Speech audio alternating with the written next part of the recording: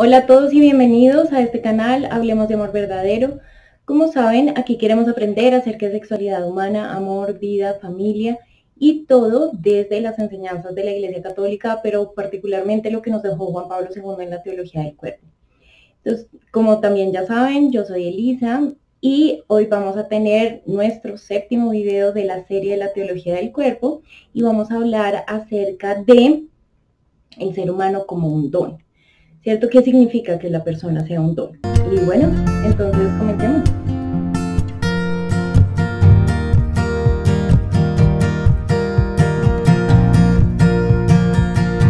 Bueno, entonces para hablar de la persona como un don, eh, tenemos que comenzar a hablar de lo que es el hombre original, es decir, el hombre como fue creado por Dios, ¿cierto? Antes del pecado original y de todos los cambios, porque ¿qué pasa?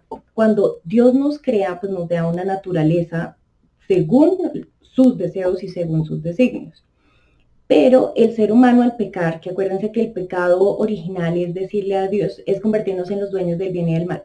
Es decir, eh, decidir por qué las cosas están bien y por qué las cosas están mal. Acuérdense que el bien depende de la naturaleza, ¿cierto? El bien es lo que le va a permitir a la cosa ser como es y continuar en su naturaleza. En cambio, eh, cuando nos convertimos en los dueños del bien y del mal, lo que estamos diciendo es vamos a determinar cómo, es la naturaleza de las cosas para nosotros poder decir qué es lo bueno y qué es lo malo, ¿sí? según nuestro capricho, según nuestros deseos, según lo que pues, nos interese, básicamente. Entonces, eh, obviamente parte de lo que, o no solamente parte, sino lo más importante que cambiamos fue la naturaleza humana. Nosotros decidimos ser diferentes a como Dios nos había creado.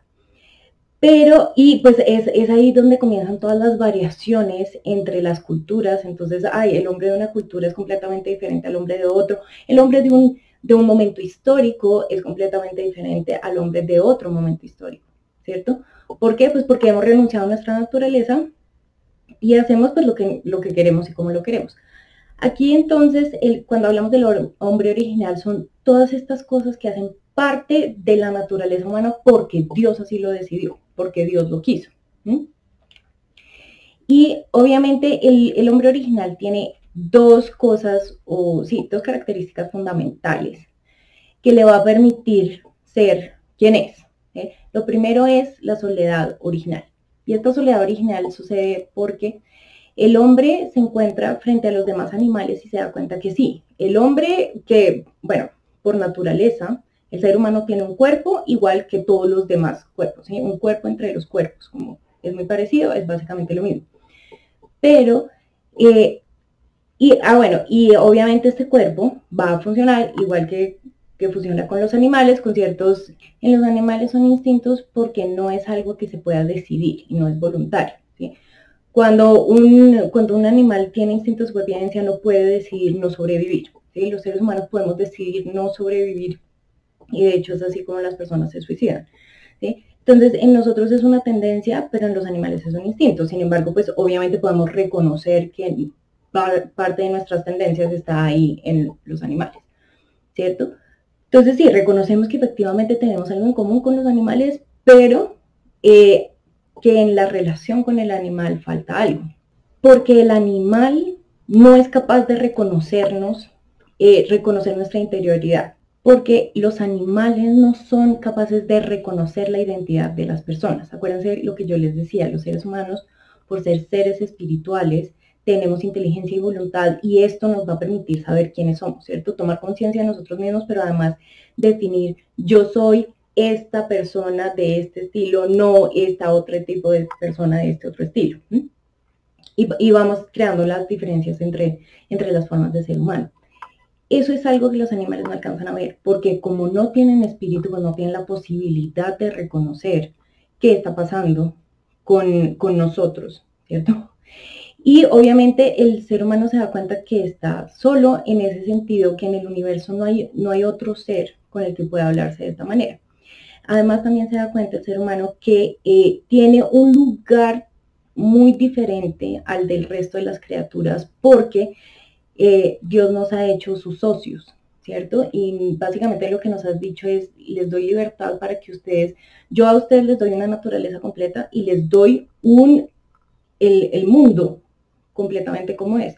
Pero ustedes verán de todas las cosas que yo deje en potencia, ustedes que van a llevar al acto, ¿cierto? Que van a ser una realidad, que van a desarrollar, que va a ser cierto y que no. esta hace parte de la dignidad humana y es algo que los animales no tienen. Y otra cosa que sucede es que el ser humano es capaz de amar. Al ser persona puede reconocerse a sí mismo y crear su identidad, pero también puede reconocer la identidad del otro y puede amar a la otra persona. Y es ahí cuando se convierte en un don. Y obviamente esto es algo que los animales no pueden, a lo cual los animales no pueden responder. Nosotros podemos responderle el amor a Dios precisamente porque sabemos lo que podemos reconocer el amor, porque podemos reconocernos a nosotros mismos, a Él, a los demás, ¿cierto? Y podemos reconocer el amor y podemos devolverlo y decir, ah, yo también te amo como tú me amas a mí. Entonces es recibir y entregar. Esto es algo que los animales no pueden hacer y obviamente es algo que el ser humano eh, pues al, se da cuenta que no tiene, ¿cierto? esto es sobre todo, piensen en el primer relato, de la, en el segundo, segundo, perdón. El segundo relato de la creación, cuando eh, Dios dice, bueno, no es bueno que el, hombre esté solo, ¿no? Que al primero, que al, que al principio él solamente eh, crea al varón, ¿no? Y después dice como, uy, no, si está como solo porque no, no logra tener una persona, alguien con quien ser, ¿cierto? Un igual. Entonces crea la mujer. Y el punto es en el momento en el que se crea la mujer, que con la, creación de la mujer es también la creación del otro, ¿no? De la alteridad, de esa otra forma de ser humano. Entonces comienza la, la verdadera posibilidad del el propio reconocimiento y de la propia identidad. Porque como yo les he dicho pues bastantes veces, ¿cierto? La propia identidad se construye en el encuentro con el otro, porque en el encuentro con el otro el otro me va a pedir algo, ¿cierto? Y yo voy a responderlo. Entonces, si me piden amistad, pues obviamente yo voy a responder con mi amistad. Pero eso significa que yo tengo que responder pensando en qué es lo que queremos hacer, ¿cierto? ¿Qué es lo que esta persona en este, en este momento particular que me está pidiendo, ¿cierto? ¿Qué tengo yo para responder, ¿cierto? Porque es diferente ser amigo de, un, de una persona introvertida que de una persona extrovertida. Entonces, uno solamente se da cuenta si uno es introvertido o extrovertido cuando está frente al otro y se da cuenta que, ah, no, esta persona como que habla más de lo que hablo yo y eh, a mí no me gusta compartir tanto, a esta persona sí, ¿no? Yo no muestro tanto mis sentimientos, a esta persona sí. Entonces, miren que ese, en esta respuesta en que uno se logra dar cuenta como, ah, esta persona soy yo. Entonces, primero que todo, el, otro siempre va a ser fundamental para el propio reconocimiento. Además, como también les digo, el otro va a reconocer cosas en nosotros que nosotros no habíamos reconocido. Entonces, nos muestra quiénes y cómo somos. Pero también el otro va a ser alguien distinto a nosotros, lo cual nos hace también reconocernos a nosotros en el sentido de, ah, yo no soy así, ¿cierto? Es como una, un reconocimiento negativo, pero además reconocemos nuevas formas de ser humano que nunca antes habíamos tenido.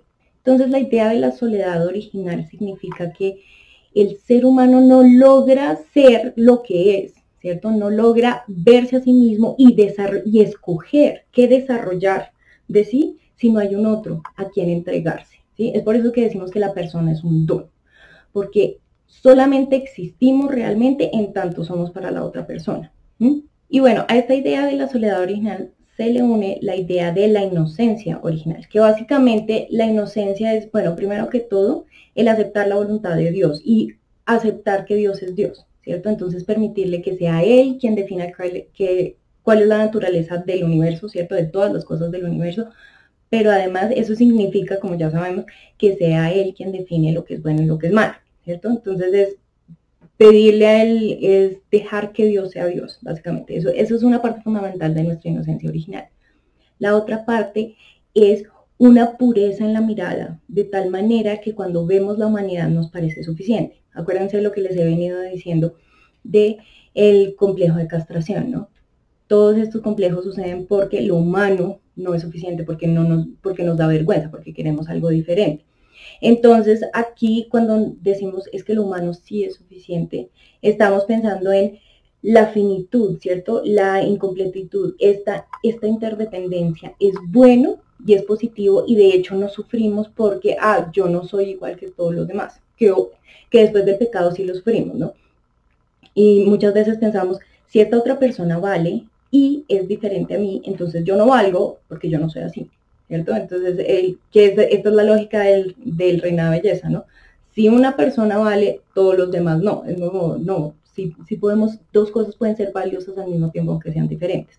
Esto es algo que, que después del pecado original no se ve. ¿Por qué? Pues porque hemos perdido, perdido esta inocencia de la mirada. Y miren que acá la inocencia no se trata de ser ignorante, que es que a veces nosotros pensamos eso porque pensamos que los niños son inocentes, ¿cierto? Y son inocentes porque no saben nada.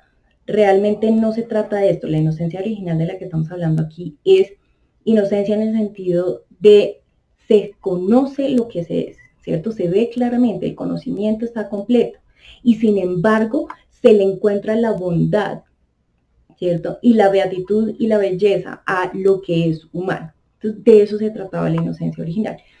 Y obviamente eso significa que en la relación con el otro, la persona tiene claro que cuanto más se entregue, más, más se construye a sí mismo, más se desarrolla, pero también más obtiene.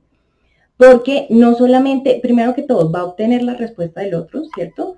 Eh, y el otro va a responder, por ejemplo, aceptando lo que uno tiene para dar.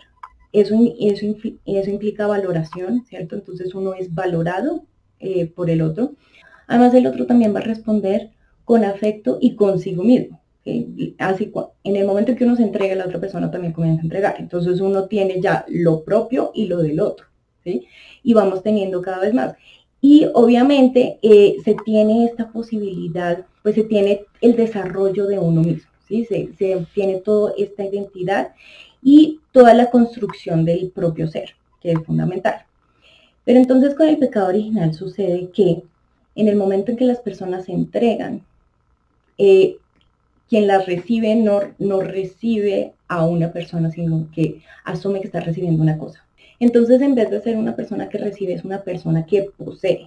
¿sí? Te entregaste, entonces, ah, pobre estúpido, ahora eres mío, ¿cierto? Porque miren que aquí el, lo que es mío significa algo que tiene que servirme a mí, ¿cierto? Alguien que va a ser usado por mí. Si nosotros pensamos en la primera alianza, que la primera alianza es cuando Dios nos dice, bueno, eh, ser fecundos y multiplicados, henchid la tierra y dominarla. Lo que Dios nos está diciendo es, la tierra va a ser de ustedes para que ustedes la desarrollen, según mi voluntad. Yo ya puse la naturaleza y yo ya creé todo para que las cosas funcionen según mi plan. Pero ustedes van a ver a qué hora se ustedes van a definir cuándo se hace el plan, cuánto del plan se hace, de qué manera, ¿cierto? Que es ahí cuando yo les digo, cuando uno comienza a mirarse eh, para adentro y uno se da cuenta que tiene talento para la música, es muy distinto decir entonces, bueno, voy a convertirme en música porque voy a tocar guitarra, pero si sabe como guitarra como hobby, a voy a ser guitarrista profesional, a voy a ser directora de orquesta,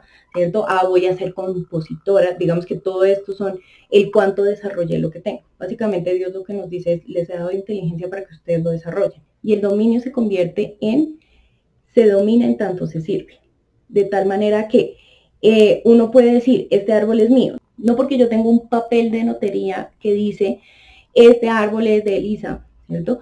Sino porque yo trabajé y le puse todo mi ser a este árbol, ¿cierto? Entonces aquí está mi trabajo, aquí está mi desarrollo, entonces este árbol tiene parte de mí. Y es ahí donde el servir se convierte en el reinar, que es algo que en el pecado original ya no pasa, porque entonces reinar y servir son antónimos, ¿sí? mientras en la inocencia original son, son básicamente parte del mismo proceso, ¿cierto? Que es el, el poder ser, existir para el otro, ¿sí? El ser don. En el, en el pecado original, entonces es todo lo contrario, porque si yo sirvo, yo no poseo, entonces yo no estoy reinando, ¿cierto? Sino que a, sobre mí reina alguien más, sobre a mí alguien me domina, en vez de yo poder ser dueña de mi propia vida. Y es aquí cuando, como vemos, pues comienza toda esta idea de la humanidad no es suficiente, el amor no vale la pena, no nos gusta, no lo queremos y demás. Pero bueno, esta sería como la introducción de este tema por hoy. En el próximo video vamos a ver la diferencia entre ser don cuando estamos en, una relación de igualdad con la otra persona y la, eh, el ser don cuando estamos en una en una relación de jerarquía, es decir, como padres e hijos, en donde el padre está por encima del hijo, que es, es, una, es una relación desigual. En, en, esos tres, en esos dos tipos de relaciones, pues vamos a tener dos tipos de formas de ser don diferentes. Entonces eso es lo que vamos a continuar en el próximo video. Entonces, bueno, pues me encanta que se hayan quedado hasta el final del video. Si tienen dudas, comentarios, inquietudes, eh, no sé, lo que quieran, me lo escriben ahí en la sección de comentarios o me pueden escribir a charlasamorverdadero.gmail.com charlasamorverdadero.gmail.com Yo trato de responderles tan rápido como sea posible o lo respondemos en las sesiones en vivo de los sábados. Entonces, bueno, nos vemos dentro de una semana. Muchas bendiciones para todos. Chao.